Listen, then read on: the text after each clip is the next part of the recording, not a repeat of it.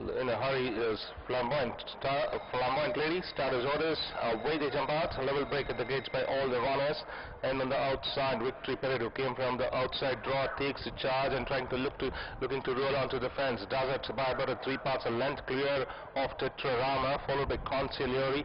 On the outside is Agni, half a length behind, two lengths behind Cape Kidnappers.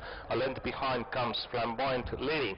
As they start climbing up, crossing the 1000 and Victory Parade easily in front by about 2 to the good of Tetrarama handy second followed by Agni now moving into clear third a neck better of uh, three parts of a length behind Cape Kidnappers running one deep. Getting little keen is Flamboyant Lady at the tail end of the who, who sits nearly four lengths from the leader and the leader is Victory Parade enjoying by about a three part length and a half to the good of Tetrarama three parts of a length behind Agni half a length on the inside. Consigliere followed by still running one deep Cape Kidnappers.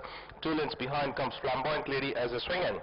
And Victory Parade by about three parts in front of Nabin alighted is uh, Tetrarama who's trying to bridge the gap followed by Agni.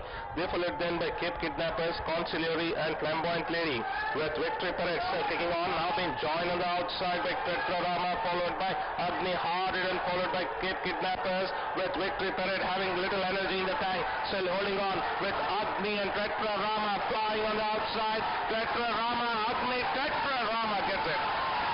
Tetrarama scores from Agni, Victory Parade followed by Cape Kidnappers, Consigliere and Flamboyant Lady is last all the way to finish last.